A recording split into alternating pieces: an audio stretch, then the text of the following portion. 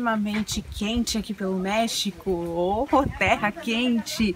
A gente saiu bem cedo lá de Playa del Carmen, pegamos uma van que custou 45 pesos por pessoa e nos trouxe aqui para Tulum, que é uma outra zona arqueológica que tem aqui na região da praia. E vai ser o nosso primeiro passeio do dia. depois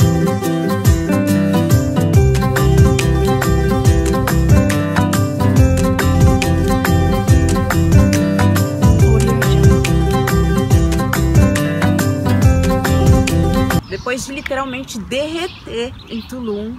Olha, chapéu, protetor solar e água é imprescindível porque é muito, muito quente mesmo. Eu só conseguia pensar em entrar numa água geladinha. Então a gente pegou um táxi que custou 200 pesos para trazer a gente aqui no Gran Cenote. E pelo que eu olhei, é lindíssimo. Foi uma super surpresa. Eu nunca tinha lido nada sobre o local, só o Fabiano. E realmente estou muito surpresa porque é muito bonito.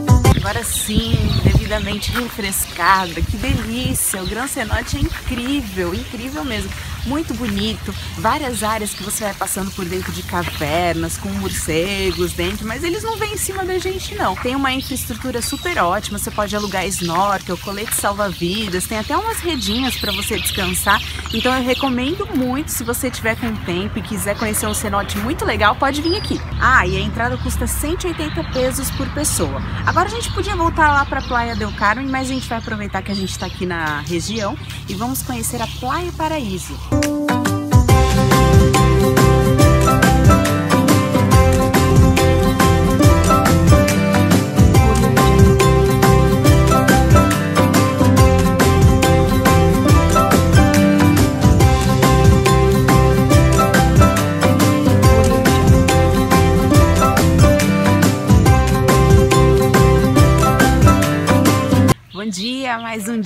Aqui nesse paraíso da Riviera Maia. A gente acordou cedo e veio lá de Playa del Carmen com aquelas mesmas vans que a gente tem pego para ir para os outros passeios e viemos aqui para o Cenote dos Orros, que é um dos passeios que a gente estava mais ansioso para conhecer.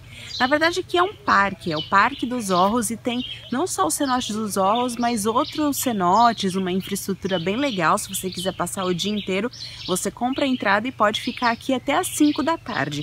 Mas na verdade, o que chamou a atenção da gente foi um passeio específico, que é o passeio pela Bat Cave. Você vai com snorkeling, a roupa de neoprene, lanterna pelas cavernas dos morcegos, isso. Mas não tem perigo não, porque eles só gostam de comer fruta, eles não atacam a gente não. Então é super escuro e a gente vai nadando por ali, vendo tudo que tem por baixo da caverna, olhando por cima, vendo os morcegos, as formações rochosas. Então a gente está muito empolgado e eu acho que vai ser muito legal mesmo. A gente pagou 600 pesos por pessoa para fazer esse passeio e está incluso o transporte lá da entrada até aqui o cenote.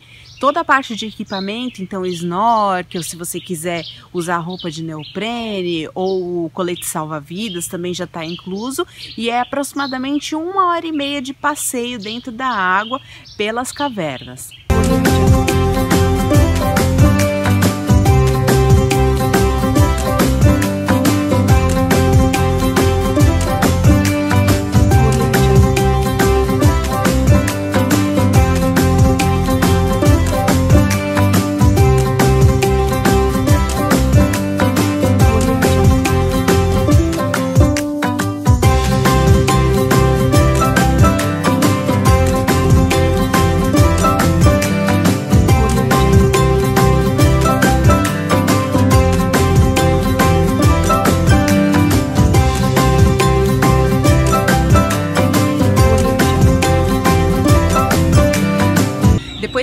Terminou esse nosso passeio pelas Bat Caves, a gente ainda curtiu bastante os dois olhos, nadamos bastante, tiramos muitas fotos e agora a gente vai para a praia de Acumal, que é uma praia que tem bastante tartaruga. Vamos ver se a gente consegue pegar uma por lá.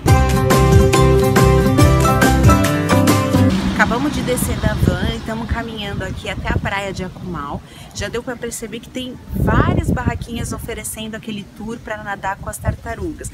Na verdade é um snorkeling que passa para você tentar avistar as tartarugas que ficam por aqui. Pelo que eu entendi, parece que tem uma área pública que você pode nadar sem pagar nada, mas quando você entra na área protegida, você tem que ir com guia e tem que pagar esse passeio. Só que a gente vai acabar ficando na área pública mesmo se a gente der sorte de ver uma tartaruga.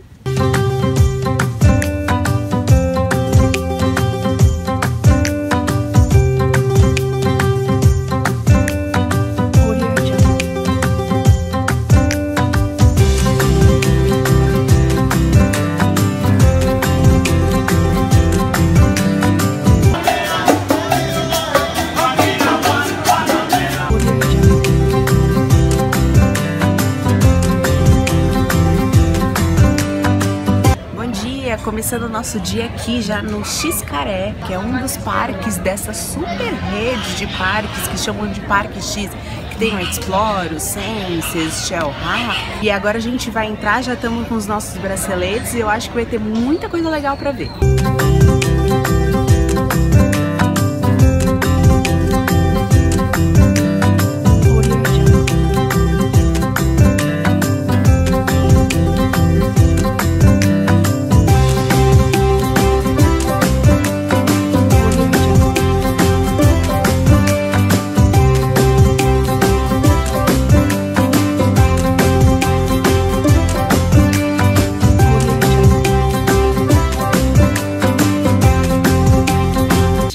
deixar carregando um pouquinho a nossa bateria, mas a gente já fez algumas atividades além do rio subterrâneo, já vimos alguns animais, só que o lugar aqui é enorme, então a gente está tentando correr para tentar fazer o máximo de coisas possíveis. Vou mostrar para vocês aqui o mapa só para vocês terem um pouco de noção.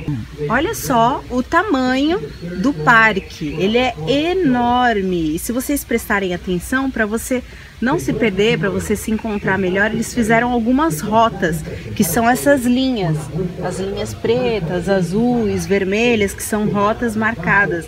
A rota do rio, rota do aquário, rota da praia, rota dos delfines, que são os golfinhos, o México Espetacular e o Pueblo Maia. E aí você pode ir seguindo e olhando pela numeração os lugares que você quer visitar. Aqui na lateral você também tem o horário dos espetáculos. A gente acabou de chegar aqui na área do Pueblo Maia, porque a gente quer ver esse espetáculo aqui, ó, de danças pré-hispânicas, que é às 17 horas e a gente quer chegar bem cedo para conseguir um, um lugar bem legal. Mas em todos os cantos você encontra esse mapa para você ir se encontrando, porque o, o, lugar é realmente muito grande e tem muitas atrações. Eu estou achando que um dia vai ser muito pouco para a gente conhecer o lugar inteiro.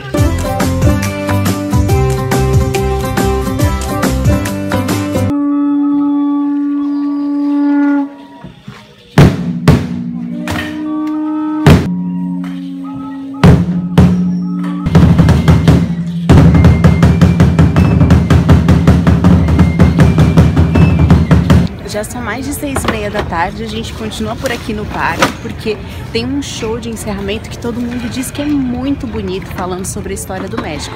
E a gente está caminhando para lá. dia.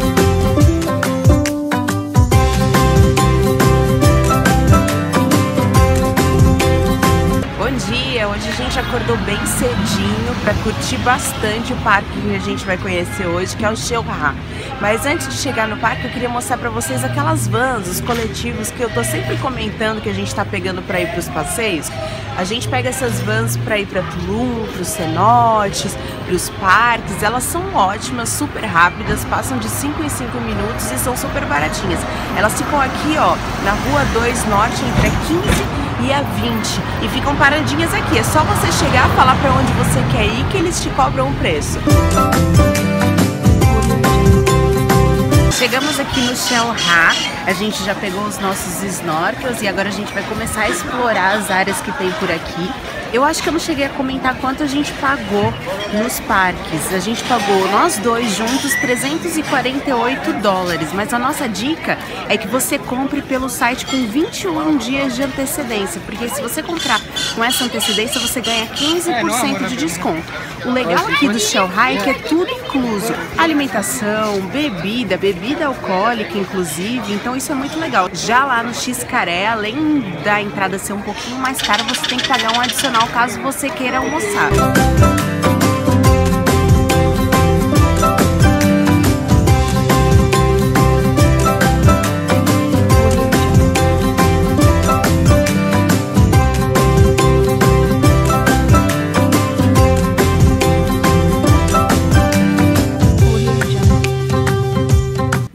Lá do Shellhack, aquela mesma van que a gente pegou pra ir, foi muito legal, o parque é muito bacana, super delicioso, só que olha, não esqueça de levar repelente. A gente não trouxe repelente, a gente está completamente comido por mosquitos. Como lá tem muita parte de mata fechada, tem muito mosquito, então a gente está todo pipocado.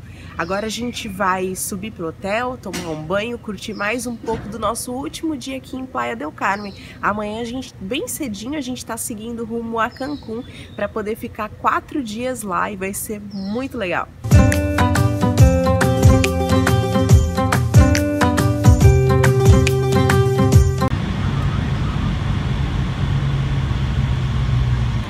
Finalmente chegamos em Cancún, a gente deixou Cancún para a última parte da nossa viagem para a gente curtir muito e relaxar aqui num resort. A gente escolheu o GR Solares que fica aqui na zona hoteleira de Cancún.